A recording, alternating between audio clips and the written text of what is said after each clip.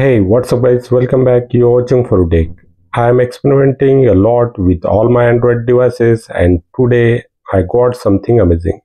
This is a new custom GSI port of HyperOS 2.0 of the Xiaomi 15 device. This should work for any Android devices. I installed this build on my OnePlus 9RT using the DSU loader. I just amazed with its features and the performance. Few days before we already created one of such HyperOS port ROM video but this version of HyperOS is much refined with almost all the HyperOS features working. There are few resolvable bugs are there that I will show you in the next part of this video. In that video, we'll discuss how we can install this build and how we can resolve most of the minor bugs of this build. So don't forget to subscribe to our channel and press the bell icon for the notifications of our upcoming content. I already did the complete setup of my device on this new port ROM and we are going to discuss which HyperOS 2 dot features will work in this build and how its performance, what's working, which are solvable and unsolvable bugs of this build. So we'll get an idea can you consider this build as a daily drivable or not. Now without further delay, let's get started.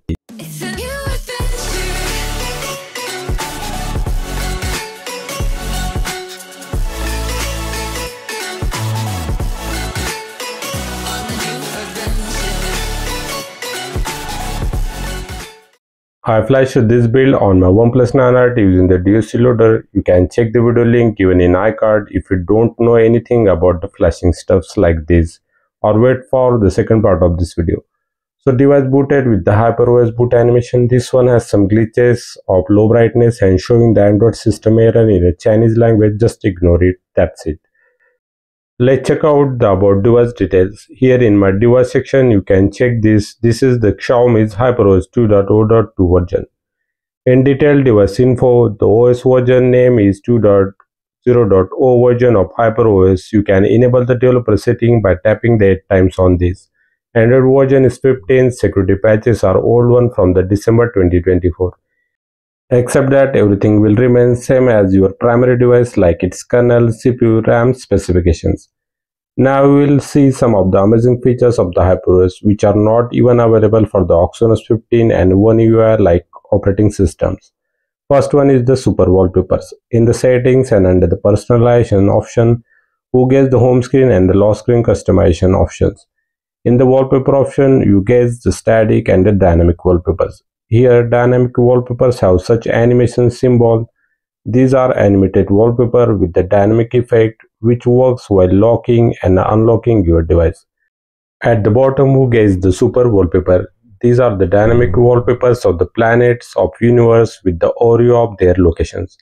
You need to download them first. While applying them, you can change the landing points which will be shown in the animated format on the home screen after unlocking your device.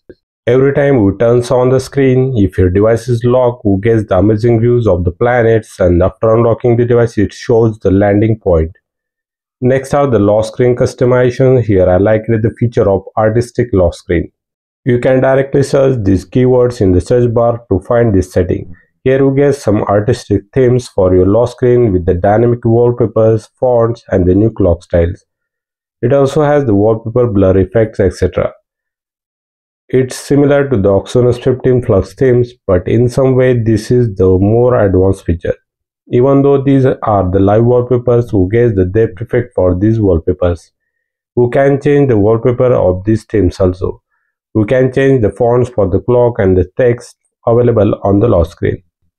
Wallpaper effect setting gives more advanced effect for your wallpapers like blur, lens and the glass with the frosted and matte styles. All these themes have their own custom always on display clocks, dates, times format. All of these gives amazing look to your lock screen and the home screen. Here we can check some of the amazing dynamic wallpapers of HyperOS, all of them working in the ported GSI ROM. who also get the option to convert dynamic wallpapers into the static one.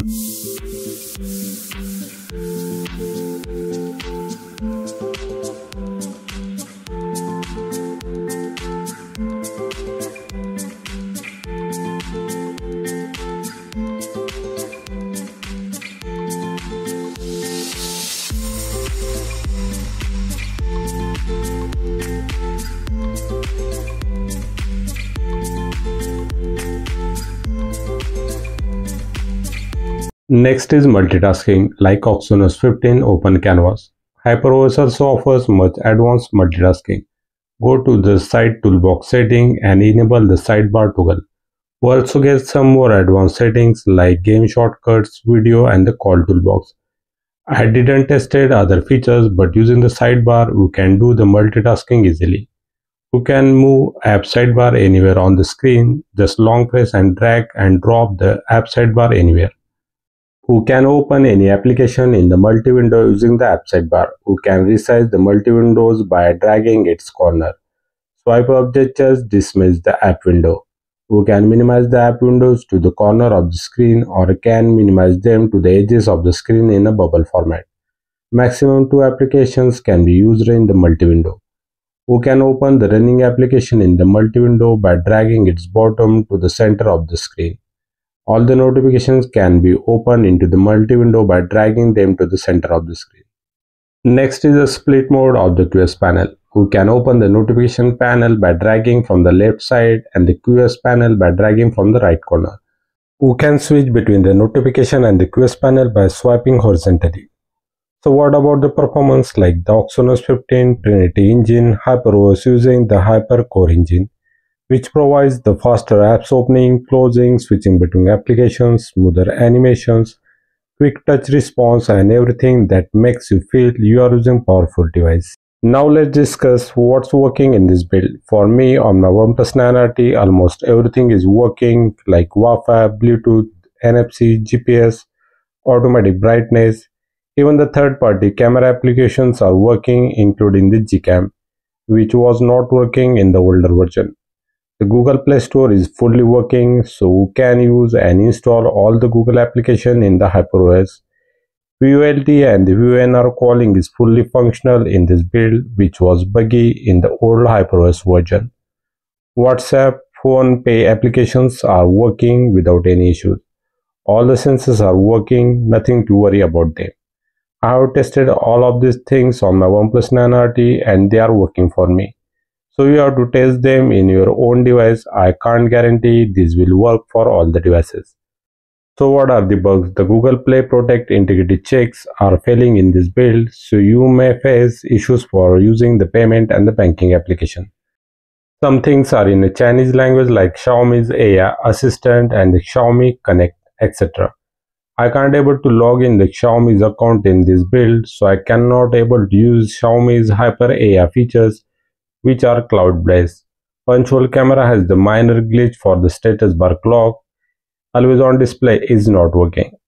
Except this, there are some solvable bugs that I able to resolve them and using this build as my secondary ROM on my OnePlus 9RT along with the OxygenOS 15 using DSU loader.